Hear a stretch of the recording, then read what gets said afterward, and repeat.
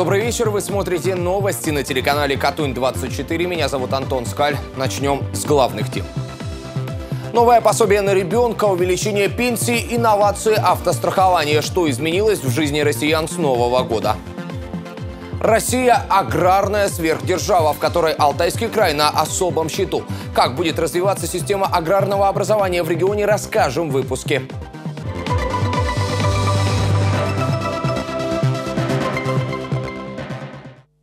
Начнем сообщением о погоде. Температура воздуха в Алтайском крае повысится до плюс 1 градуса. Затяжные морозы, которые длились все праздничные выходные, закончились. Правда, не за горами и очередное похолодание, однако в ближайшие дни в регионе будет тепло. Завтра днем от 0 до 5 градусов мороза начнется снег, местами закружит метель. В южных районах пройдет мокрый снег, ожидается гололедица. Немного похолодает лишь к пятнице до минус 4-9 градусов. Ну а что касается ночных температур, ниже 18 градусов в крае не будет, а в целом ожидаются вполне комфортные 7-12 мороза.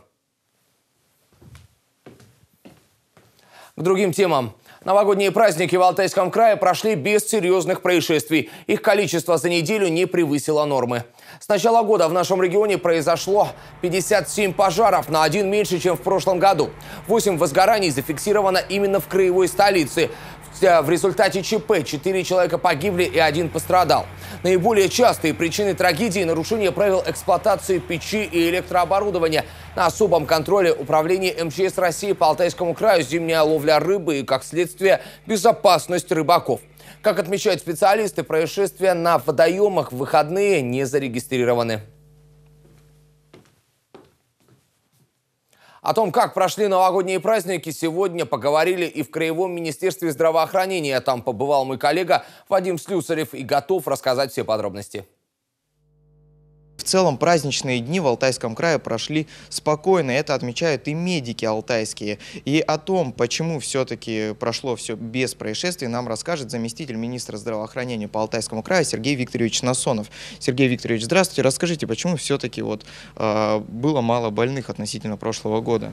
Добрый день. Но прежде всего не то, что мало больных. Больных э, всегда достаточно. Дело в том, что э, тяжесть заболевания, она значительно ниже в этом году, и мы это с уверенностью можем констатировать. Здесь играют ряд факторов.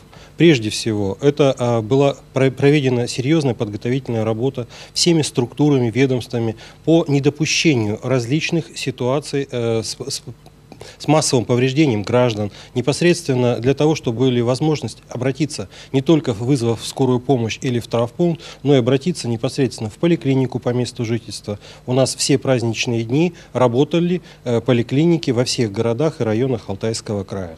Далее, то есть мы также можем э, провести те э, мероприятия, которые проводились с массовыми гуляниями, что население имеет большую культуру на сегодняшний день.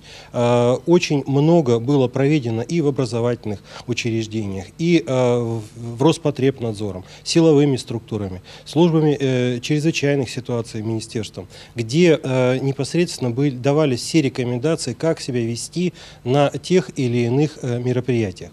Более того, хотелось бы отметить то, что а, то население, которое оно появляется, культура здорового образа жизни, здорового питания, здорового а, обращения к своему здоровью, прежде всего, встречать Новый год на лыжне, на а, каком-то безалкогольном массовом мероприятии. И все это приводит как раз к тому, что мы, медики, можем всем говорить доброго вам здоровья и долгих лет жизни. Потому что действительно на сегодняшний день только сам человек может позаботиться о своем здоровье, мы можем ему помочь. Но чем раньше он к нам обратится, тем быстрее мы сможем начинать помогать человеку. Поэтому все в ваших руках, уважаемые жители Алтайского края. Спасибо большое, но а нам остается лишь надеяться, что такая тенденция здоровых праздников будет и на всех остальных праздниках в этом году и последующих годах. А мы продолжаем и поговорим о том, что изменилось в нашей жизни с 1 января. Новое пособие на ребенка, увеличение пенсии, инновации в автостраховании. Подробнее об этом расскажем далее. За рождение первого ребенка семьи теперь будут получать материальную поддержку. Соответствующий закон вступил в силу с этого года. Размер нового ежемесячного пособия равен установленному в регионе прожиточному минимуму для детей. В среднем по России размер выплаты составит около 10,5 тысяч рублей. По прогнозам Минтрудсоцзащиты Алтайского края, в нашем регионе этой поддержкой смогут воспользоваться около 10 тысяч семей. Это те, чей доход не превышает 40 тысяч рублей. Платить обещают ежемесячно до полутора лет. Начала года у россиян выросли пенсии. Их проиндексировали на 3,7%. Размер пенсии в Алтайском крае в среднем составляет около 13 тысяч рублей. С февраля изменится размер ежемесячной денежной выплаты федеральным льготникам, ее проиндексируют на 3%. А с 1 апреля повысят социальные пенсии и пенсии по гособеспечению. Их получают военнослужащие и чернобыльцы. Перебоев с выплатами быть не должно, добавляет в пенсионном фонде. Теперь врачи смогут лечить нас удаленно. В 2018 году вступил в силу закон, позволяющий медикам проводить онлайн-консультации пациента и дистанционно мониторить состояние его здоровья. Правда, с поправкой. Онлайн-консультация больного возможна только если первичный прием и осмотр пациента врач уже провел очно.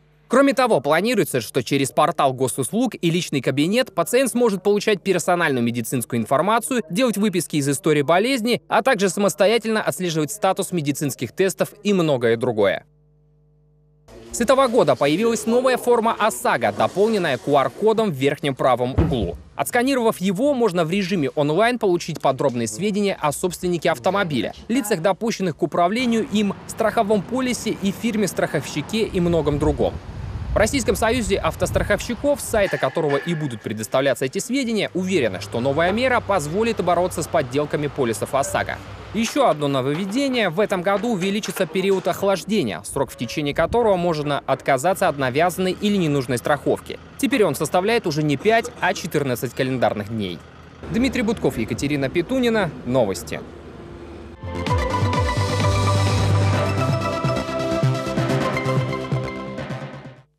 Глава региона Александр Карлин рассмотрел концепцию, которая призвана вывести на новый уровень систему аграрного образования в Алтайском крае. По мнению губернатора, она должна охватывать все направления, начиная от создания специализированных классов в сельских школах и завершая высшим профессиональным образованием.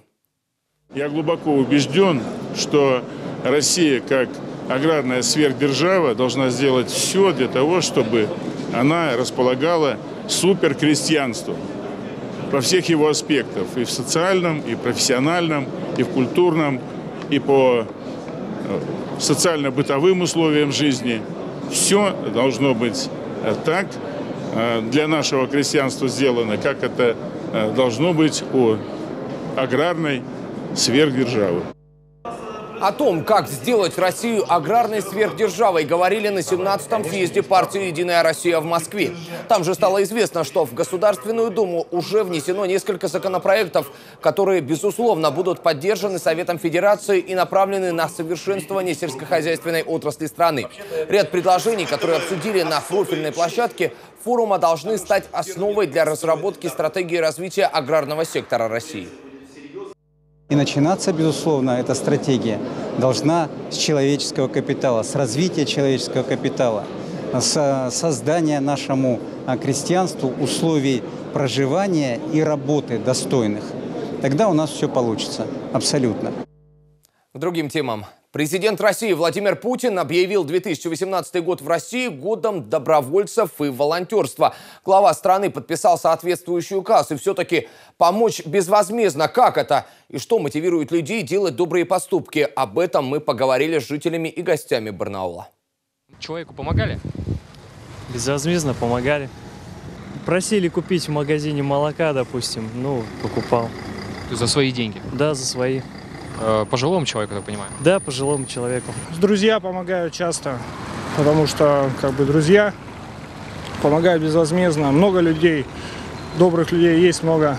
Прочитал у Александра Сергеевича, где он брат написал, написал письмо. Не верь никому. Близким, конечно, помогаю. Ну как иначе? Это, собственно говоря, даже какое-то удовольствие. Ну, ребятки, в общем, вам удачи. Какой-то случай у вас в жизни был, когда вы помогли человеку просто от души? А, помог. Стоит дедушка. Тут три подростка. Два подростка, одна девушка. А между ними 200 рублей. Но это было лет 8 назад. Ну, Посмотрел, мне, думаю, подростки, дедушка, говорю, потеряли деньги? Он говорит, потерял, так, сколько? Я говорю, сколько вам? 200 рублей. Я говорю, «Ну, о, говорит, сынок, тебе это, здоровья. Добрых людей сейчас много? Не очень. Почему? Ну, не знаю, сейчас все люди как прох- а, проходят мимо и как не обращают внимания. А вам кто-нибудь помогал? Дети. Ну, а посторонние люди? Ну, а посторонние что помогать буду? Пока еще сама хожу на ногах на своих. Вот видишь, с бассейна иду. Что мне помогать? Пенсия нормальная. Какой-то случай можете вспомнить, вот, за, за который можно гордиться? покруче. Покруче? Ну, поделитесь, очень интересно. Ну, молодой был, спас от пожара людей. Дверь выбил, вытащил двух стариков. Такое было. Какие ощущения испытывали, когда помогли э, человеку? Хороший адреналин.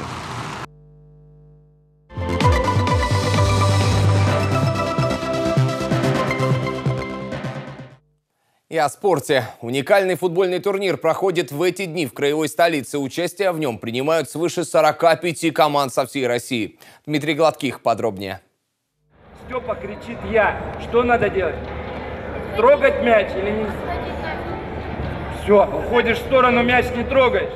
Указания тренера школы барнаульского «Динамо» Сергея Рехтина каждый из воспитанников внимательно слушает и запоминает. В дни школьных каникул Международный открытый общеобразовательный фестиваль футбольного мастерства «Игра и живи в темпе» стал настоящим подарком не только для юных спортсменов, но и для родителей. Первая часть спортивного праздника завершилась накануне. 9 января стартовала вторая. В ней примут участие 28 команд, в которых играют дети 9-10 лет. Уникальность этого турнира не только в количестве коллективов и географии участников состязаний, но и в новом подходе к организации массовых стартов. Ежегодно школы выпускают огромное количество футболистов. Далеко не все по разным причинам могут стать игроками там, э, или команды мастеров, или пусть там полулюбительском уровне выступать. Но многие хотели бы остаться в футболе. Давайте сделаем так, что кто-то может остаться диктором, кто-то останется журналистом, кто-то фотографом, кто-то останется массажистом, доктором. Но огромное количество есть профессий, которые сопряжены с футболом. Экспериментальным в ходе турнира стала образовательная часть. Впервые для юных футболистов, их тренеров и родителей провели лекции. Они касались как воспитания юных футболистов, так и подготовки игроков 10-14 лет. Кроме того, прошли семинары по спортивной журналистике, мастер-классы по фотографированию и дикторскому мастерству. Провела их группа специалистов, приехавшая из Москвы, а также местные профессионалы своего дела. Уникальным можно назвать и сам новый спортивный комплекс «Темп», в котором проходят футбольные баталии. Юным футболистам уже после первых матчей манеж пришелся по вкусу. Здесь удобно играть, здесь тепло, не так, как э, на улице летом, потому что тут сбалансированная больше погода.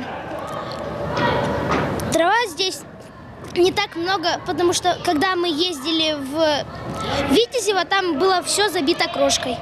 В первые дни турнира коллективы выступят в подгруппах. Из-за большого количества команд на начальном этапе соперники сыграют в круг. Далее последуют стыковые финальные матчи. 12 января определят победителей и призеров. Они получат ценные призы и подарки от организаторов. В этот день выявят и лучших игроков фестиваля. Дмитрий Гладких, Роман Хайрулин. Новости. И еще немного о спорте. Хоккейный клуб «Алтай» начал второй этап первенства ВХЛ с поражения. Подопечные Евгения Бакланова в сухую проиграли одному из лидеров турнира Тамбову 0-4. Нашу команду подвела игра в неравных составах. Две шайбы «Алтай» пропустил в меньшинстве и ни разу не реализовал большинство. После поражения место команды в турнирной таблице не изменилось. В активе «Алтая» 30 очков и восьмая предпоследняя позиция. Дадут бой Тамбову в ответной встрече наши хоккеисты уже сегодня. Встреча пройдет на выезде, начнется в 22.30 по нашему времени. На этом у меня все. Увидимся в следующих выпусках новостей. Оставайтесь с нами.